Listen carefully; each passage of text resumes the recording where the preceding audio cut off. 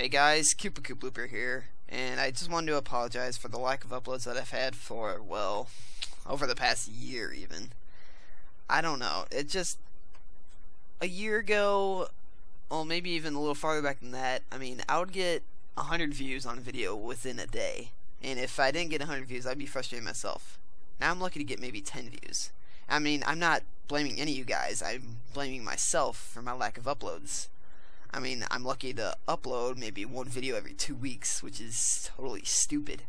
I mean, think about it. I've been working on uh, Pokemon Stadium since May of last year, and I'm only like, I'm only like in part 18 or something. I don't even know.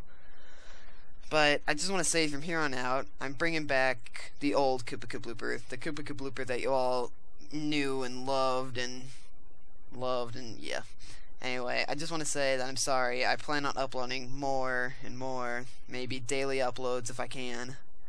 That just, I mean, I believe I just, I think I took all my subscribers for granted. Just didn't upload, didn't feel like it.